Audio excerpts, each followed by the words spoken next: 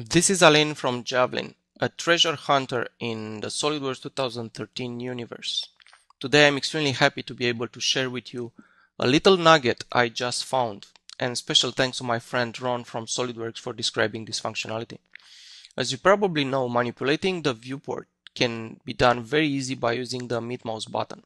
Some people say that they actually rotate the model when they start dragging with the mid mouse button press, which is not really true. You are changing your point of view, you are not moving the model.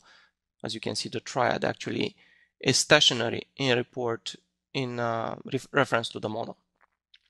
For a long time now, I believe for the past few releases, um, you were able to select an entity with the mid mouse button, an edge, a face, a, a vertex, in order to get a more precise movement of this uh, viewport. That being said, SOLIDWORKS 2013 brings a new setting that you can take advantage of, and I believe it's quite, quite revolutionary.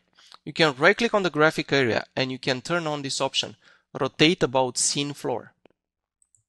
This is an on off switch, so as long as this remains checked, the behavior of your mid mouse button changes.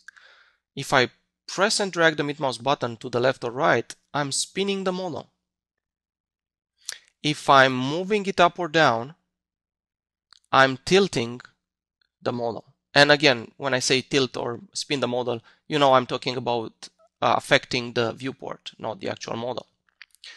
If you drag your mid mouse button in an oblique direction, you can actually do both spinning and tilting.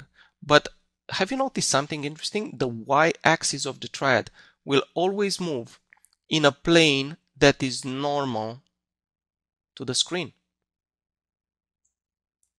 So I believe this gives you a lot of power and also a lot of precision when trying to get the best orientation for your model. Thank you and enjoy.